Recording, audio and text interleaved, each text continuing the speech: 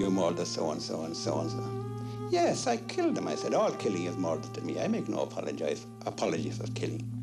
And the only really thing I was ever sorry was the number escaped. I remember an Englishman asking me in England, oh, about 30 years ago, he said, it was it true that we kept the pig in the kitchen? I said, no, we'd have him in the bedroom, I said. Because if he didn't, I said, we couldn't pay the rent at Bastards like you.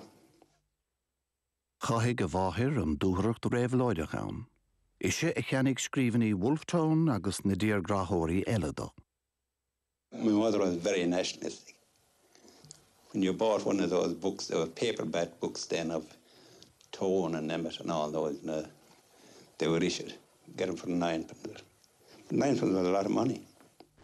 He had a great Gaelic outlook. He made a very, much more than I did. He made a great study of the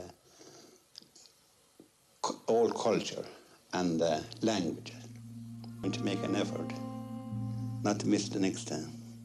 And that there was going to be a next time and, and soon. We weren't going to wait forever. And you can't leave anyone alive after because if you do, you're going to get your innocent people executed. They give you the lowdown on them and where they were. And you just went and rubbed them out. And you reported back. You didn't put it in writing. You reported back that they were gone. That's all. In town, there were maybe six agents. And they knew even what you were thinking of. They knew what you had for your breakfast, dinner, and supper if you had it.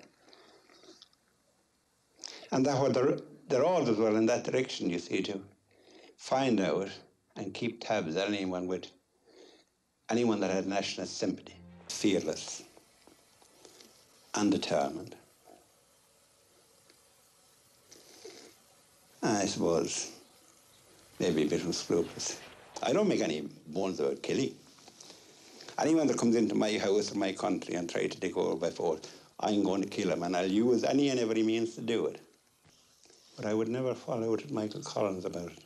I stayed friendly with him all the time, but the treaty to me was negation of everything I was stood for.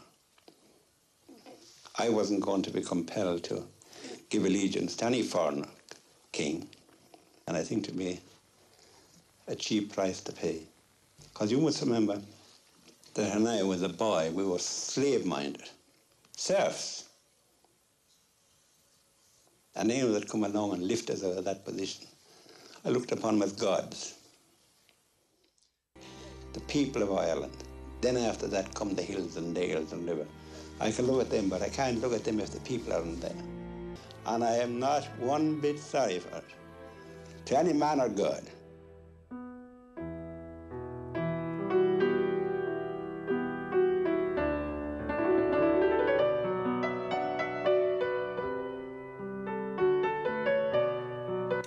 Agus bé chlár feisneise ar híal Tom Barry, Canada icónach na tras bhrigóide go IRA in dhear chorcha ar a chugan na siirse agus cogan na garad chugéis